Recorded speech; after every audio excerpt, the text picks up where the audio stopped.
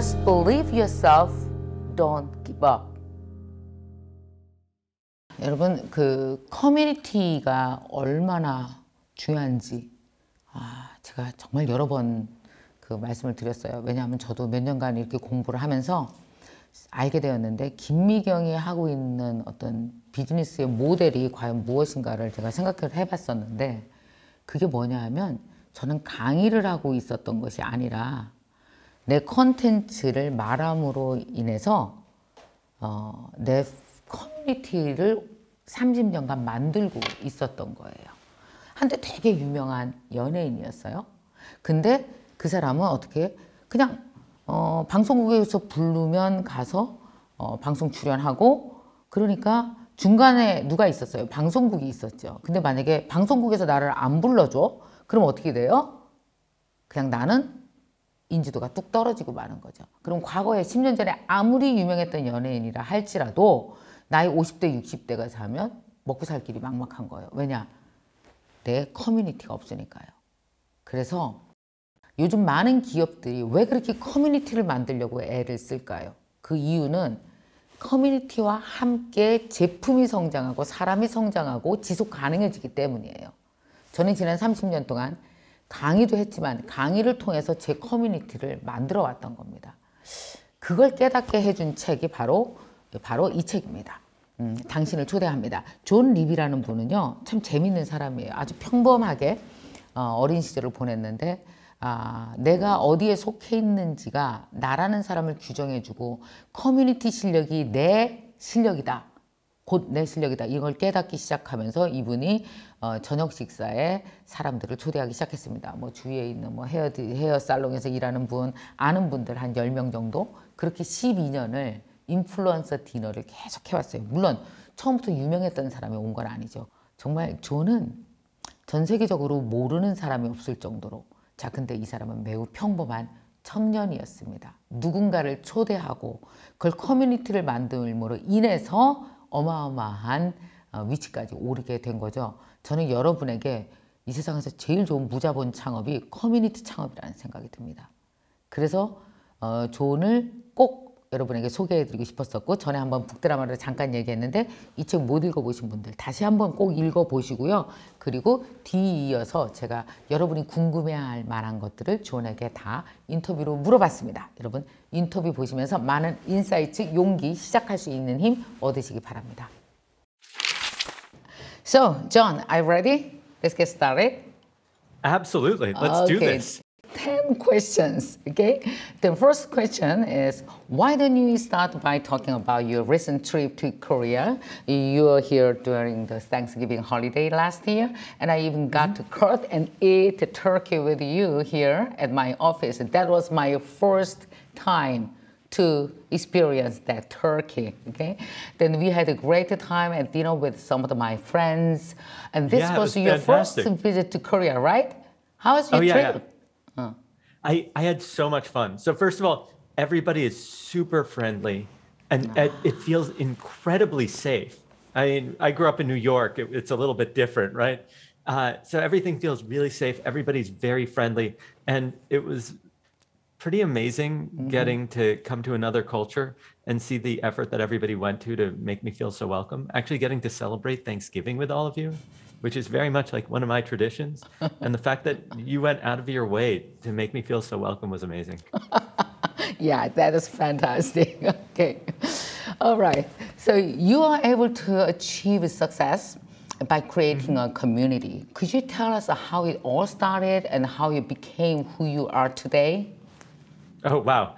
Okay. So let me start off with uh, if you were to meet me 15 years ago, you might think I'm a very nice person, but you wouldn't think, oh, he's destined to do something extraordinary. I was, you know, just another guy. And I was, uh, I went to a seminar because my belief was that no matter what I do, I always have to be growing. I always have to be learning and taking whatever it is that I'm doing to that next level. Um, and I was sitting in a seminar, and the, person who was leading the seminar said that the biggest impact on our life is the people that we surround ourselves with and the conversations that we say to each other. Mm-hmm. And I said, if this is true, then I need to change the way that I'm acting in life. Mm. Because what I would try and do is just have all of my self control force me to do things like mm. wake up early in the morning and go to the gym or uh, work crazy hours to get my work done. Okay. But if this person is right, then instead of trying to force myself to go to the gym, if I surround myself with athletes, people who go to the gym all the time, then it will naturally be part of my activities. Instead of going for a big dinner or drinks, uh, we would meet up at the gym and work out together. Okay. And so I realized that the most important thing I should do is connect with extraordinary people. Mm. The problem I had was that nobody knew who I was or even cared. and so I had to figure out not what will get their attention, but what will get their interest. How do I get somebody who's really important to be interested in me mm. so that we will be able to connect? And here's the most important thing. Okay. I realized that I came across this study about um, obesity when people are overweight. Uh-huh. And the researchers were curious is obesity something that spreads from person to person, like a cold, or is it a percentage of the population? Right? So, and what they found was shocking. If you have a friend who's very overweight, your chances of becoming overweight increase by 45%. Uh-huh. Right. Your friends who have never met them, mm-hmm. their chances increase by 20%. And their friends, three degrees out, their chances increase by 5%. Mm-hmm. And this kind of effect is true for happiness, marriage and divorce rates, smoking habits, voting habits. Mm-hmm. And so I realized it's not just about knowing somebody, it's about connecting everybody so that they can positively impact each other. Okay. Because MK, me knowing you is great. But if I know four or five other amazing people and I connect them to each other, mm-hmm.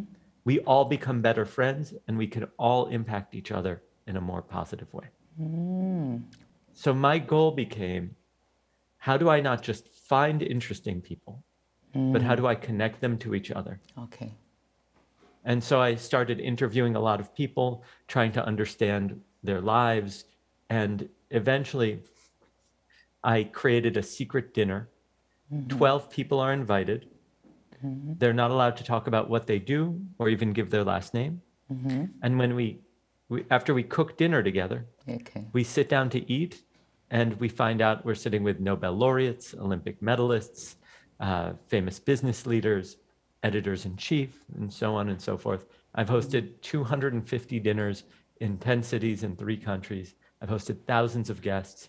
Um, and that's kind mm-hmm. of the process. I want to emphasize the one thing mm-hmm. the first dinners that I had, the people weren't nearly as impressive as they are now mm. over time, because I kept doing it and I kept inviting and I kept bringing people together, then the guests became more and more impressive. Mm-hmm. That was over than yeah, 10, 12 years ago, right? 12 years. Yeah. 12 years ago. So for the first time, i there's uh, no people who are very famous or yeah, Oh, no. influence. Okay, They, they had, you know, what just I like to say ordinary, community. per, average person, right? Yeah, they, they had like, they were the most impressive people I knew, and they're wonderful, right? But it would be somebody who was uh, a hairdresser that worked with fantastic clients that maybe people had heard of, but she was not necessarily famous. It was uh, somebody on who had, you know, a following on Twitter, but it wasn't a million people; it was a few thousand. And then over time, dinner after dinner, the guests became more impressive because I would say, Hey, who do you know that I should host? And I'd get the names of interesting people and I'd begin to invite them. And so by the fifth dinner, we had somebody who won an award called an Emmy, which is for television, uh, mm-hmm. either making a show, directing it, or be acting in it. And then a few dinners later, we had somebody who had won an award for writing. And as we kept doing it, more and more people mm-hmm. were recommended. And I hired a team to do research. Mm-hmm. So you can hire on Upwork which is, you know, outsourced support, for very inexpensive, you can hire people to do research and communications for you so that you're not sitting every night trying to find all the people you want to meet. You can have somebody else do it for you. Okay. So how many times of influence dinner did you have so far? Hundred, more than 250. thousand times? Uh, how many dinners? I've Yeah. had 250 dinners Uh-huh. and about 500 events in total because we do events besides the dinners. Uh-huh. So how many people uh, are Oh, in thousands. around you? Thousands. Okay. Yeah. Literally. Mm. So there's there's two groups. There's the people who come to my dinners, mm-hmm. which are the like now very impressive people who are more impressive than me. Mm-hmm. Uh, and then we also have something called the salon. And the mm-hmm. salon is a gathering after somebody comes to one dinner, they usually don't come to another. But I ah. invite them back every month to a gathering where about a hundred of the former guests all come together, and then we have drinks and we have uh, talks by interesting people sharing ideas. Could you So- tell us about IKEA effect? That was very interesting. Yes. Yeah. So this is uh, kind of wild. Most people think that if, let's say, I want to get you to like me, what I have to do is be really nice to you and buy you things or or do things for you. And that does work to some degree, but actually what works better is Okay. something called the IKEA effect. Mm-hmm. And if people know IKEA, it's the Swedish furniture company where people have to assemble their own furniture. And so it turns out that when you have to assemble the furniture, you mm-hmm. care more about it. And anything we invest effort into, we care more about. So if I mm-hmm. really wanted to get to know you, what I'd do is I'd find a way for you to invest effort into me and for me to invest effort back into you, which is why we cook. So mm-hmm. when we carved the turkey together on Thanksgiving, that was the IKEA effect, mm-hmm. right? Or when you hosted me, that was the IKEA effect. Mm-hmm. So instead of me trying to win you, let's say I've never met you. I might start off with asking something really small. Mm. Hey, MK, I know you've written several books. I've read them, I, but I've never found where you recommend other people's books. What are your two favorite books? The moment that you respond, suddenly I'm seen as as somebody worthy of more mm-hmm. effort. Mm-hmm. So next time I'll say, "Wow, I read the books. I loved them. Mm. You have five minutes to talk about it." Yeah. And suddenly, now we're investing effort into mm-hmm. something, and it's each other, and it's more likely that you'll agree. it's a kind of being part of that group. Okay. Yes. Yeah. Exactly. Uh-huh. Because for human beings, we didn't survive because we were the fastest or the strongest. They're much bigger animals. Mm-hmm. We survived because we learned to work together. Yeah. Right. And so mm-hmm. when you invest effort into one another, mm-hmm. it's the basic structure for building community, which is how we survived. Okay. So, it, it, was your own original idea to using Yeah. the IKEA effect, or Oh. yeah, taking I- some other's So the- idea. Uh, so I realized that it worked. I didn't know why when I first started. Oh. At the oh. beginning, I had no clue what was why it worked. Wow, But then genius. I came across research uh, Oh. by his name is Dan Ariely, mm-hmm. and I said, "Oh, that's why it works." Ah. And then I increased the amount of effort that people have to put in. I made uh-huh. it more complicated because of. Wow, that's amazing. So you mentioned in your book that the value of a community comes com- comes from influence. If you were to choose the three essential components of creating a community, what would they be? So here's what's interesting. You want to find some way to connect with people, right? Um, you want to find a way to build trust very quickly. Because if people don't trust each other, they're not going to be part of a community. And you need a lot of consistency. Okay. You can't expect to do something once and for it to build community. You need multiple points of contact so that people feel familiar. And uh, the reason for the familiarity is that uh, there's there's this funny thing called the mere exposure effect. Okay, and uh, here's a question: Do you know what the most famous painting in history is? I don't know. Paint. the most famous painting in history was uh-huh. is probably the the Mona Lisa. Oh, Mona Lisa. Okay, okay. And but the only reason anybody knows it was that it was stolen about 100 years ago. Uh-huh. And so newspapers shared the story mm-hmm. and then it became famous. Simply because we've seen it more than any other painting. If you actually look at the history, most art historians didn't think it's a good painting. Mm-hmm. But because of the consistency of seeing it more often, because newspapers told the story of it getting stolen, mm. then we we learn to like it. Uh-huh. We tend to like and trust things that have consistency. It's why Coca-Cola puts so many ads up, mm-hmm. right? Now, so the consistency part's really important. The question is though, how do we make build trust quickly? If mm-hmm. I connect with you, I, I want to build trust quickly. Part of it is the IKEA effect, Okay. right? So I mm-hmm. find ways to invest effort. Mm-hmm. The other part is something called a vulnerability loop. And a vulnerability loop is the basic unit of trust. It's the smallest unit. And it works like this. People think that if I trust you, I'll be willing to be vulnerable. I'll be willing to share things or put mm. myself in a situation where I might get hurt. Mm-hmm. But it actually works the other way, which is if the two of us are talking and I say, MK, writing this book was the hardest thing I've ever done. In that moment, I've signaled vulnerability. Mm-hmm. If you make fun of me and you say, John, you're weak, you couldn't handle it, then trust will be reduced. I'm not going to share anything again, right? Yeah, right. But if you say, uh-huh. John, I know how you feel, uh-huh. running a company and turning it into what it is today during a pandemic has uh-huh. been so hard, so much work. And and the moment that both of us can see that, mm-hmm. we both know we're safe and we trust each other more. yeah, And so if I want to build trust with you quickly, mm-hmm. what I want to do is find ways to create those vulnerability loops. Mm-hmm.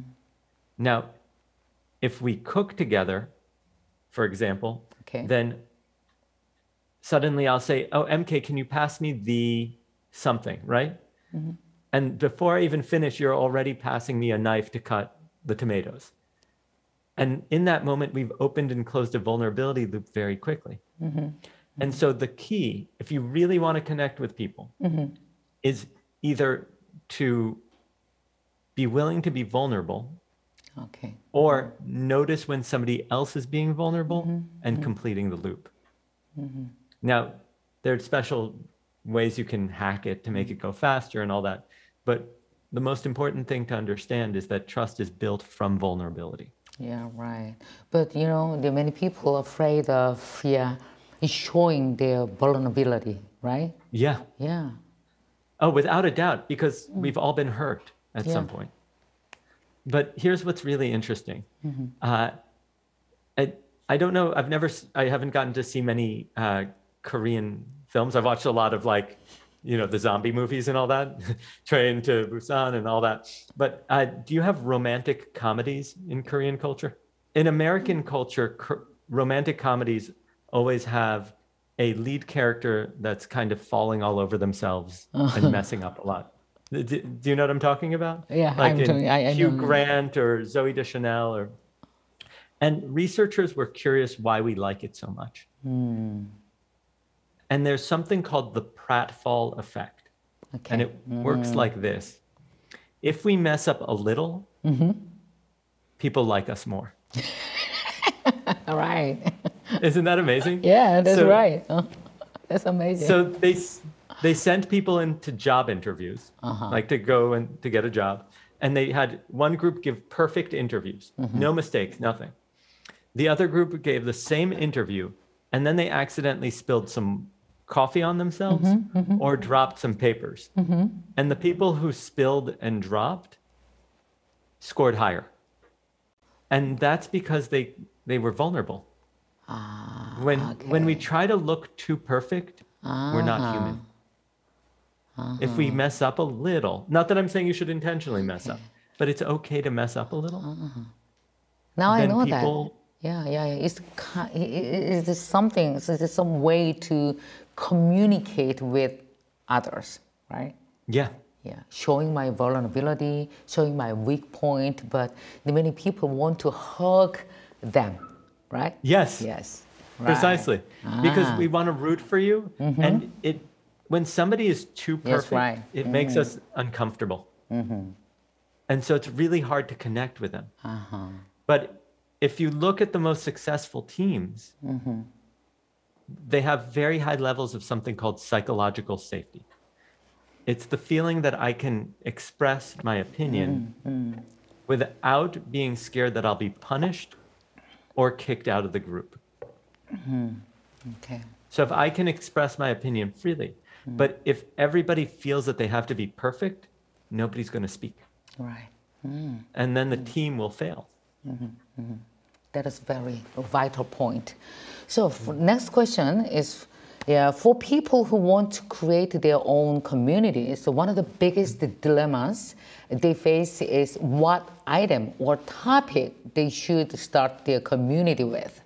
It could be a social issue, a personal weakness, or a topic of interest. When creating a community, what should people consider when choosing their topic or item? So I'd, I'd say there's two things. The Yeah. first is don't worry about getting it perfect the first time. Ah, okay. It's more important to just begin to bring people together. Okay, Okay. it's not about item, it's in It- invitation or Yes. connecting people. So okay. just because everybody wants, like, not necessarily everybody, but Mm-hmm. people think, oh, I want a lo- massive community of thousands of people or whatever it is, or maybe Mm-hmm. even 50. The important thing is you want to build the muscle of how to gather people. And there's going to be a lot of like things that go wrong along the way. Mm-hmm. So f- don't focus on getting it perfect. First, focus on bringing people together. The second thing is whatever that topic is, whatever the, the focus of the community is, it needs to be something that you're going to enjoy three years from now. okay. 10 years from now. If you are only doing a community about uh, sports because you want to meet somebody cute who's an athlete, then after you meet that person, the community is going to fall apart because you're not going to want to keep doing it. If I hated dinner, I would have stopped after the fifth one. Yeah. You can right. Mm-hmm. do 2 three, five of something. You can't do a hundred of something Mm-hmm, because it takes up a lot of time and effort, frankly. So you have Mm-hmm. to ask yourself, for example, MK, what's what are some things you care about besides karaoke? I know you love karaoke. Oh, sharing, yeah, people's, yeah, humans' experience. I really Uh-huh. like, yeah. Okay, so I'll give you an example of a community that I thought was really interesting. Mm. Uh, this woman invited people to her home Okay. for wine and cheese. And then each person had to bring one story on a specific idea. So they'd give a topic like love. And each person would have to bring one story. It, I think, had to be three minutes long. And the entire p- group would come. They would drink wine, they would eat cheese, and each person would share their story. And it mm-hmm. would share that human experience. Wow. Now, notice it's very simple. That Yeah. doesn't cost a lot of money. You could mm-hmm. ask each person to bring a bottle of wine, mm-hmm. and cheese costs not very much money. So, mm. notice community doesn't need to cost a lot of money. Mm. It just needs to begin with an invitation. Mm, now I get it. We don't need to worry about the great topic or item, okay? Yeah. Is I didn't, I've connecting been people? Mm. gathering people. Yeah. Before I did the influencers dinner, Mm-hmm. I probably tried 20 other things. I did a sports night where we would play childhood games in the park. Mm-hmm. I did a uh, dinner where we would celebrate in in I'm Jewish in Jewish culture Friday Mm. night dinners. We would all ca- gather together, and it was nice. Yeah. But eventually, I realized that I needed people to contribute so Mm-hmm. that they felt involved. And so we needed an activity where they put effort in. Mm-hmm. And that's how we got with cooking. But you could have a running group. Uh, you maybe it's uh, I have a friend who leads a group every Mm-hmm. week. They meet for a hike, and they bring an idea that they're struggling with, and everybody supports each other. Okay, th- th- here's the very interesting. Yeah, in your book, you, you know that there are uh, many people who have a big group of social media followers, you know, such as YouTube subscribers and Instagram followers. However, you said in your book that this kind of relationship only flows in one direction. A Yeah. one directional relationship is not a community. Correct. Do you mean it's not good enough to only have a lot of yeah, audience and fans or followers, Mm-hmm. right? So then, what should we do to create a sense of community? A sense of community mm-hmm. comes from four things. There's membership. There are people on the inside and those that are on the outside. Yeah, membership. Okay. Mm-hmm. So we need something that says, I'm part of it or I'm not. Mm-hmm. At the influencers dinner, once somebody has cooked the dinner and participated, they're on the inside. Okay. Mm-hmm. With your organization, it might be that they subscribe and they join a course. And once they're in the course, you're part of the community. Mm-hmm. So you need some kind of line. The harder it is to cross that line, the closer the community will be. Okay. So if you have special forces in the Korean military, mm-hmm. it's very hard to get in, right? They have to put in a lot of effort. So they really care once they're on the inside. uh-huh. So you want to balance between how difficult it is and who you want the community to be. Okay. Because if you mm. make it too hard, nobody's going to join. Mm-hmm. If you make it too easy, it's then it doesn't necessarily feel special. So that's membership. Okay. The second mm. is influence, Influence. which is exactly what you just pointed to. If if it's only one direction, you have an mm-hmm. audience. If influence flows both ways, you have a connection. Okay. So if people are part of a church, mm-hmm. they don't expect influence over the head of the church, but maybe even just being part of a Bible study group and mm-hmm. getting to express their ideas, that gives them the feeling like they're involved. Mm-hmm. Right? Right. If you have no say, then you're just an audience member. Then I might as well buy a ticket, experience something, and leave. I'm not part of a community. I might be a fan. Now, the third characteristic is an integration and fulfillment of needs. I get something from that community that's important to me. Okay. So if I really like to, uh, if I really like to run, Okay. and your community is about uh, making clothing, it wouldn't necessarily make sense for me to join it because where you're going and where I'm going are two different places. So the community needs to be going to a place I care about. Mm-hmm. So the the example I gave about the wine and cheese yeah. community with the stories, mm-hmm. that was a storytelling community. If you don't want to hear people's stories, you are in the wrong place. Right. And then the final thing is that there's a shared history and culture, Uh-huh. meaning that we have values that we ascribe to or a shared history and consistency that will move forward. So Right. if you look at um, a church group, they have the Bible, they have a history and stories, and people have a culture from that. If you even look at a company, companies have their history of how they were established.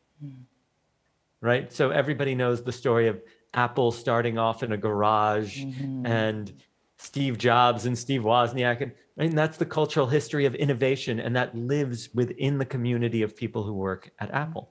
And mm-hmm. if you notice, they're very secretive and they're very tightly knit, and people work there forever because they have a much stronger community than other companies. Mm, exactly. Okay. So, what does it take for community to evolve into a business? Oh, yeah. What do What do you need to do? How to do you make money? Yes. Yeah, yeah. Of course. Yeah, so many p- many people uh, are afraid of yeah, breaking the, the sense of community because yeah, there will be the money involved. Then yeah, they're afraid of people's reaction. So what do you need to do to create a profitable business model with managing a community so that they could sustain someone's livelihood, something? So there's a few different ways to do it. Yeah. There are some communities that are are um, the expectation from the first day is that you pay, Okay. right? So if you uh, want to go to TED and be part of the TED community, you know the talks, uh, you have to pay. And that's that membership thing. If you're willing to pay, maybe you can get in, right? So there's some that are like that. There are some that are sponsorship driven. So if you go to a lot of conferences, the conference might be free, but they then go to other companies and say, Oh. hey, give us money to be there. Okay. Mm. The third thing you can do is I don't charge anything for my events because in my mind having charging a celebrity 50 100 500 what- whatever dollars to come doesn't make any sense because the value of that relationship is far more right Ah. so what I do is I have so much access to people because of it that I could call up anybody I want to do business with and they'll take me seriously. Or I could invite them to the dinners and then we end up working together. Now, most of the people that come to the dinner have no business opportunity for me, right? I'm an Olympian and I are not going to do business together or a, uh, a what's it called? A uh, Nobel laureate. But the head of human resources at the biggest companies in the world or the C suite hires me all the time. And so, on average, every other dinner I do, somebody asks me to come and give a talk. And the cost of the dinner is very low, and the, co- the cost of the talk is very high. Yeah. So, I've made friends with them before we've done business, so they like me more, and we've cooked together, mm-hmm. and then it converts. So one thing you could do is, let's say you are a athlete coach, you could run an athlete dinner for business development. Mm-hmm. You won't work with most of them, but you'll work with a lot of them, or some of them. Mm. The thing that I recommend is bring your current clients in with new clients mm-hmm. and have them participate together in the community so that that way your clients can tell the potential clients how great you are. Mm-hmm. Mm-hmm. Okay. The other thing I recommend is start small. Okay. Companies often want very big communities right away. It doesn't work like that. Mm. You need to find something that works to try it a lot mm-hmm. and to keep bringing people back so that they feel belonging. If mm. you do it once or twice, you might get a few clients that way if that's what you want. But more realistically, if you do it 20 times, people you'll find those people who are most dedicated to the community and those people will recommend far more of the clients. Now, lastly, you could do something called a freemium model. Freemium is you get something for free, but if you actually want to experience more, you have to pay Uh-huh. for it. So, for example, uh, you can come to an initiation event and learn about the community. Okay. So, right now, I'm working with a um, community for athletes. The first experience is completely free. You come, you play games, you have activities, you have fun, and you m- meet and discover the types of mm-hmm, people. Mm-hmm. If you ever want to come again and be part of the community, mm-hmm. you have to pay. Okay. Mm. The f- another version of that is that there's the community, and then if you want to participate in the trips and hmm. big activities, then it's going to cost a lot of money, hmm. right? So we're experimenting with this. I'm not trying to make any money off of it, mm-hmm. but what I said is, uh, and in fact, I, I won't, and that's intentional because I don't want mm-hmm. my community to ever worry that I'm trying to make money mm-hmm. off of them. But what we're doing is we have thousands of people now, and we're going to say, hey, we're taking over a cruise ship. Anybody who wants to come on this trip can pay six, seven thousand dollars to participate, mm-hmm. and you can come and join the trip. Okay. And I've selected the people that are going to be there. So mm-hmm. now it becomes very appealing. If I wanted to, I could have told the cruise ship I expect a thousand dollars for each person, and with 120 mm-hmm. people, that's 120 thousand dollars. So I think anyone can build this business. Yeah. Yes. Uh, you're building a, a sense of community. There's no money. Okay, only effort, Yeah. your time, and love Yes. to your people. So I, I think this is a really great. Uh, what is that? The new business model. Okay, you can become an entrepreneur for your sense of your community. Mm-hmm. What do you think? I think it's fantastic for Uh-huh. a few reasons. Because you could be an insurance salesperson, Uh huh. and if you build community, you could have a huge client list. Ah, right. Yeah. Mm-hmm. You're a professional doctor, right? Mm-hmm, and you want to mm-hmm. work with wealthy clientele, then you build the community and they're naturally going to trust you more and come to you for medical advice. But it all comes from this idea that people want to belong. Yeah. And if you can bring them together and give them a sense of belonging, they will trust you and want to work with you. The key is to look at it over the next 20 years, mm-hmm. not how much am I making off of each conversation, right? Or each Right. person. Exactly. That's like, that's short sighted because mm-hmm. the people who've brought me, oddly, the most business are the ones that I mm-hmm. never would have thought. And the people I became best friends with, once again, never would have thought. In, in community, it's not predictable. Right, you're right. So I've been thinking about, you know, the, what I've been doing with, yeah, in my career. Then I think I'm sure, yeah, my job was creating a community, big community. I have a, you know, 1.4 million subscribers at my YouTube channel, and then I have many big fans of mine. Then uh, for the last 30 years, I've been creating or building my community. That is mm-hmm. my business. I think so. Yes. Mm-hmm. So Right. you've done two things. One is mm-hmm. you've built a very large audience. Yeah. And now, as technology has increased and your events take place, the audience gets to actually connect with each other. And that's what gives them the sense of community All right. because it, it goes beyond you. A community isn't about knowing the church leader, a community is about all the people who go to church knowing each other. Mm-hmm. And the more we can connect people who are interested in your ideas to each other, mm-hmm. the stronger the community becomes. yeah. Then you mm-hmm. can have local study groups in different cities throughout the world, and you could have uh, and all of them supporting each other, and people becoming more successful, and then talking about, hey, you need to come and join this community, and it begins to spread from there. A, a great example is the company Salesforce. Salesforce makes software that helps a lot of companies. And what got their success was that they started running meetings in different cities around the world and then giving the meetings to the people who were there. So mm-hmm. rather than them running it, then the ownership was from the fan club.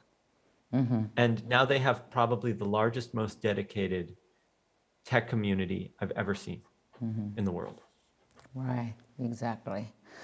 So, you know, I provided a special course last month at my university, you know, MKYU, that how to become a great creator of community. I hmm. provided that, yeah, this special course.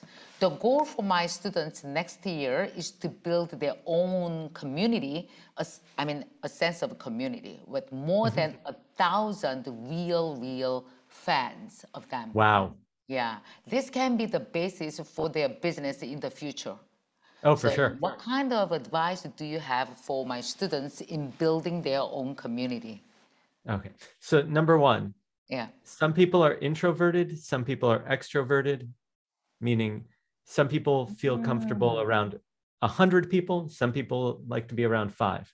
Yeah. Start where you feel comfortable, because if you're introverted and you try to get a hundred people to come together, you will mm. hate it and never want to do it again.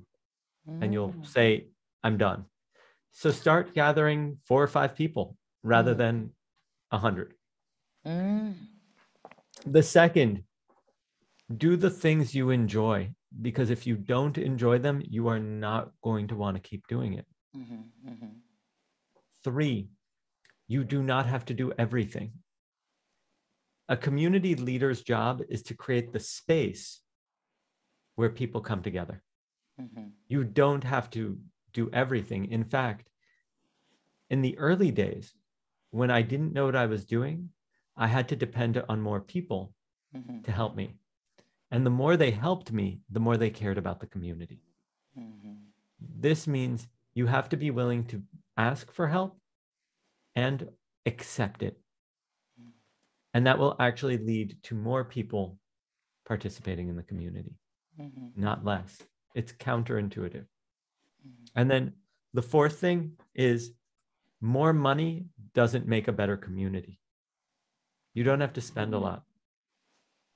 you can spend very little and find activities that are free or don't mm-hmm. cost anything. And you can actually ask people to bring things. So a few nights ago, I hosted uh, in New York, there's very, very low COVID numbers. I hosted 40 people.